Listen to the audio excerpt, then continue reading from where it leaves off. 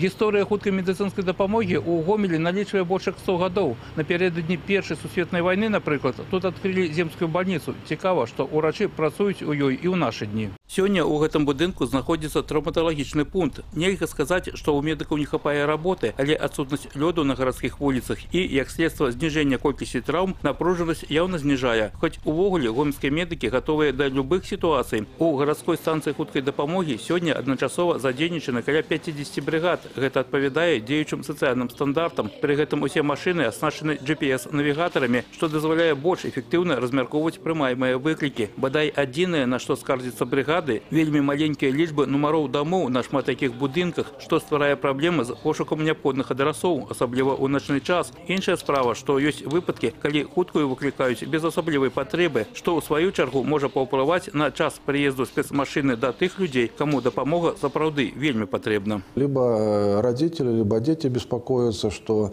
не смогли связаться э, с мамой, с папой, э, звонят в скорую помощь, выказывают свое беспокойство, э, просят подъехать по указанному адресу, но по прибытию э, не нуждаются эти пациенты, и ни о какой скорой они, конечно же, не думали и не собирались вызывать. Бывают и у нас такого рода выезды, когда звонят, просят подъехать, но за время э, в пути человек принимает какой-то медикамент, и по прибытию то же самое артериальное давление приходит в норму, и по большому счету данный пациент не нуждается уже в оказании помощи.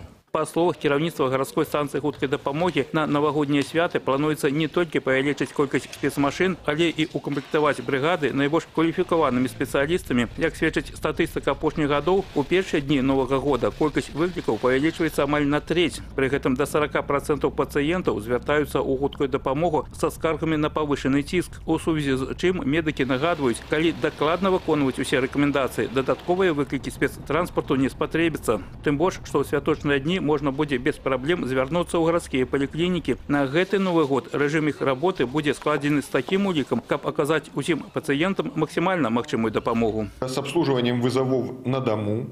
Э, При этом э, бригады врачебные будут э, укомплектованы, исходя из того, что необходимо будет привлечение узких специалистов, работа лабораторных служб, рентгеновских служб, для того, чтобы человек мог получить медицинскую помощь, как в обычный день. И вызова, которые будут поступать, будут обслужены также в течение рабочего дня учреждения. Олег Сентеров, Евген Макеенко, телерадиокомпания «Гомель».